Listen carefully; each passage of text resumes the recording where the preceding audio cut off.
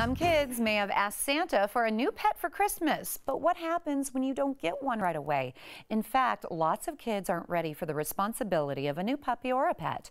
And that's the focus of a new book by local author Amber Byers. She joins me now in studio to talk about Sophie and Spot. Good to have you on the show. Thanks for having me. So tell me a little bit about your first book. Tell me how Sophie and Spot came about.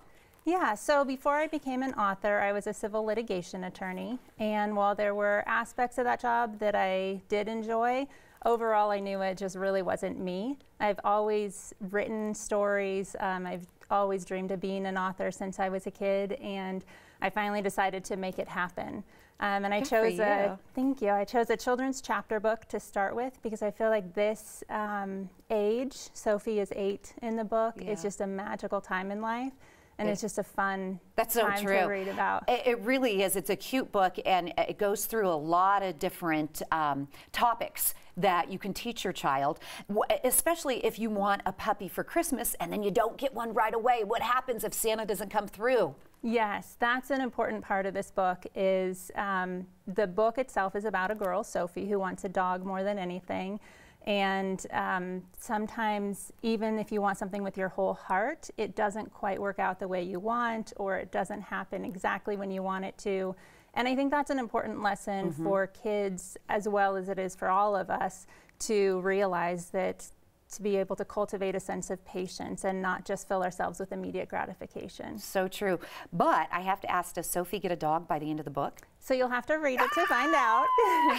um, but what I will say is the story is a lot more than just about whether she ultimately ends up with a dog. It really follows her throughout her entire third grade year, and it follows her story at home and at school and all the ups and downs and Right. her journey of waiting and You mentioned that it is a lot more about getting a dog, including her two fathers. You made Yes. Sophie have two gay fathers. Why did you decide to do that?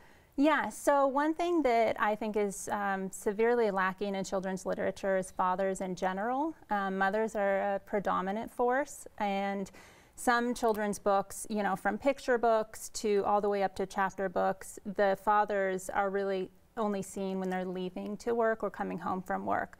Um, there's a few exceptions, but overall, mothers are pre- predominantly there. Right. And that really bothers me because my own fathers are very important to me, um, my biological dad and my stepdad.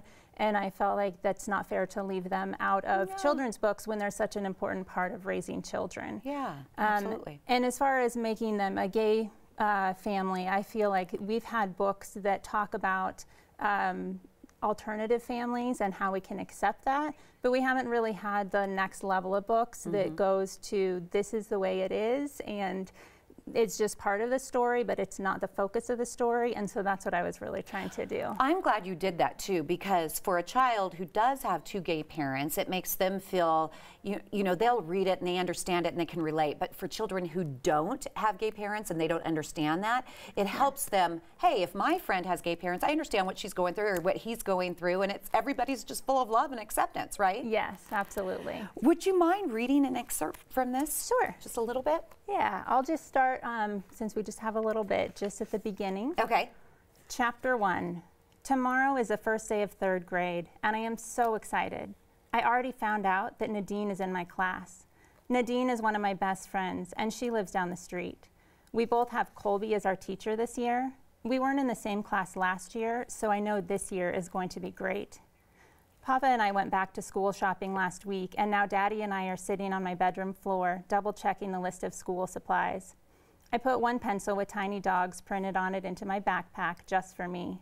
The rest of the school supplies to share with the class go into another bag. I can't believe my little girl is going to third grade already, Daddy says. I smile. I know he is happy, even though I see tears sparkling at the corners of his eyes. I think every parent can relate to that, right? and Yes. uh, you've read these this book to kids already, like you go to a school or you go to a library.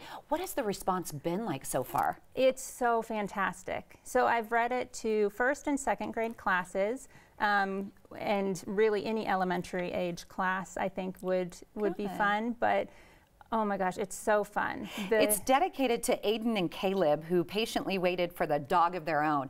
yes. Are those your children? yes. Oh, how long? Yes. How long did you make them wait until you gave in to, get them a dog? Uh, so they don't have a dog yet. Oh, they're patiently still waiting for a dog of their own. Got it. I read it wrong. if a school or a library wants to book you for a reading and to Yes. share Sophie and Spot, how do they do that? Uh, so they can contact me um, and, and book me for whatever event they're planning, and I'll travel and, and do that. My a phone number uh, that they can reach me at is 303 668 8812, um, or they can go to my website as well, tadpolepress.com. Okay, and I will um, give that information again in just a few minutes. Mm-hmm. Tell me more about where we can find the book, Sophie and Spot. Do we order it online or? Yeah, it's available on Amazon right now. yay. Yeah, and it's also available. Um, you can ask any library or bookstore to order you a copy anywhere in the country. Dreams do come true. A very Yes. successful lawyer, and you decide I want to become an author, and you did it. Yes, absolutely. Congratulations! Yay! All right, order your copy of Sophie and Spot by local author Amber Byers on Amazon or through your local bookstore. Amber is also currently touring elementary schools and giving book readings at libraries and bookstores. To book Amber at your next event, go ahead, give her a call 303 668 8812. That number 303 668 8812. You can also email her at amber at tadpolepress.com for more information.